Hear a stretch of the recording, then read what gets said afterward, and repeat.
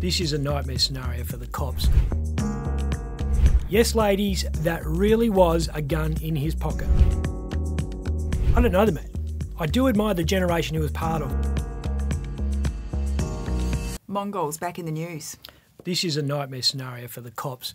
A bikie shooting in broad daylight, which ends with an ordinary citizen having his Toyota carjacked. Have a look at this. East Perth looking like Kabul airport. The good news is it's not the start of a bikie war. It's an internal feud involving just one gang, the Mongols. One wannabe member had a falling out with a patched member, allegedly. It seems to be contained, but the cops are all over it because they're very worried about the power of the Mongols Nation Outlaw Motorcycle Club, which is its official name. It's the fastest growing bikie gang in the world, and it's got the godfather of the contemporary West Australian underworld as its poster boy. The Mongols seem to come from nowhere.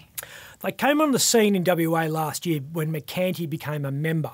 The club itself is quite old, traces its roots back to the Vietnam War. Quite a few veterans who came back to the US after their tours didn't get welcomed home as heroes. They were called baby killers and other such things, and many sought support as members of bikie gangs, including the Hells Angels Club. At the time, the Hells Angels had a whites only policy. A group of Hispanic veterans who were denied membership started a rival gang. They named it the Mongols, in honour of Genghis Khan, and inked a constitution that made it illegal to discriminate on grounds of race, which was all very woke. You'll see a lot of non white members of the Mongols, including this impressively large fellow at the front of this photo. That's Clovis Chikonga. He's got a rap sheet that includes taking a firearm into the Doll's House strip club. Yes, ladies, that really was a gun in his pocket. Allegedly. This shooting isn't really great timing for Troy Mercanti. Mercanti would be fuming about this because it happened 48 hours before his father's funeral. Michael Mercanti died on September the 17th. A mass is being held at St Mary's Cathedral on Wednesday afternoon. Troy hates the fact his bikie lifestyle has overshadowed his father's passing, which is justified because Michael Mercanti deserves to be remembered for the person he was rather than for the exploits of his sons. St Mary's Cathedral's a big place. It's going to be packed, and it won't be bikies. People think it'll be like a funeral from The Sopranos or Goodfellas. It won't. St Mary's will be full of ordinary West Australians who are there to pay their respects to Michael and give their condolences to his wife Yvonne.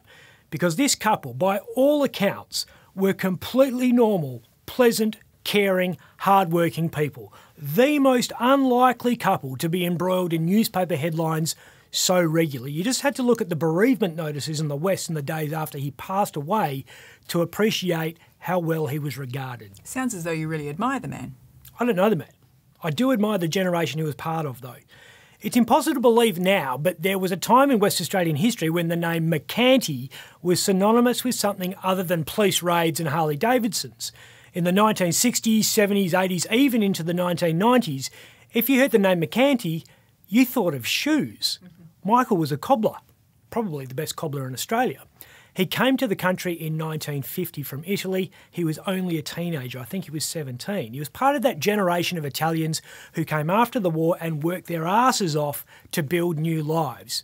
He met Yvonne and they later married. It was a good match because Yvonne had some business nous. They opened their first shoe repair store in Dianella in the 1960s, worked their guts out. In between growing their business, which you will know as Mike's multi tool service, they grew their family. They had four children, all boys. James was the eldest, then Troy, Jason, and youngest brother Tyrone. The kids all turned out to be quite talented at what they did in very different ways. We all know Troy, football tragic, bum bag enthusiast, and of course, ice cream connoisseur. That's not how you hold an ice cream. You think you're the only person to tell me that. Troy's been in and out of the headlines for decades. He first appeared in the West Australian in 1993. Nobody knew him back then. Reporters referred to him as Troy Desmond Mercanti because there was another Troy Mercanti in WA and we didn't want to get them mixed up. Now he's so well known he can get away with just one name, like Britney or Adolf. He's been in the news as a coffin cheater, a fink, and a Mongol. I don't know how there's any skin left to tat. I don't know how he's still alive. He's been bombed, stabbed, beaten, and shot at. And he's still standing. He's not the only Mercanti boy who's been forced to face his own mortality. Older brother James, who we all know as Slim Jim from Slim Jim and the Fats, had a recent cancer scare on his tonsils. Any type of cancer is horrible, of course, but when you're an entertainer, it's especially bad to have something go wrong in your throat. He seems to have dodged a bullet there, though. Jason Mercanti is the second youngest of the family. For a period there, Jason followed Troy's descent into the underworld. In 2005, he was charged with lying to the Australian Crime Commission which seemed to be using Jason to go after Troy. Surveillance officers from the ACC followed Jason on flights around Australia and they were convinced he was a money courier. This was all happening when Troy was facing charges over that dust up at Metro City nightclub, which saw Scorpion boy and Nabil Dabag use a filleting knife to flay Troy wide open. That ended with Troy shooting Dabag five times before being helped away by John Kizon and nearly dying from blood loss just another night out in Northbridge.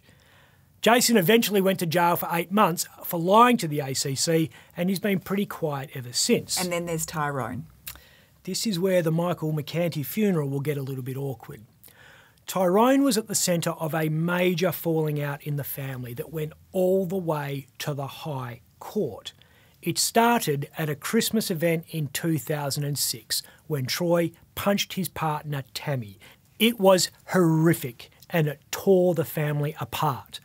Six years later, that assault was the subject of a trial which saw Troy spend seven years in jail and Tammy and their two boys put in witness protection. By the time everyone was in court, the Mercanti family shoe business was a serious operation, not just Mike's multi tools. It had an import export arm, a warehouse in Adelaide, I think it was, turnover of $5 million a year. Its wholesale and retail arms were run under two separate family trusts, which Tyrone had been in charge of since 2004. He had a falling out with his father, and in 2015, Michael and Yvonne went to the High Court to get back control of the trusts. Tyrone retained the retail operation, and the parents got the wholesale arm. That didn't stem the bad blood, though, because the wholesale business went under in 2017, owing millions. Things got worse. Months later, Michael is left paralysed by surgery to remove a brain tumour. That left him in a wheelchair. And in 2018, Jamie launches a crowdfunding campaign to help pay his parents' $120,000 legal bill from the High Court actions. In May, Michael and Yvonne back in the Supreme Court suing Westpac for allowing third parties to withdraw a heap of money from their personal accounts. How much? Three million $719,261.63. That's a lot of shoes. Do you think there'll be trouble at the funeral? No. I think they'll show their father the respect he deserves, as we should, because you don't visit the sins of the sons upon the father, and because they don't make them like Michael Mercanti anymore. I'm Ben Harvey. For more update, click the subscribe button below.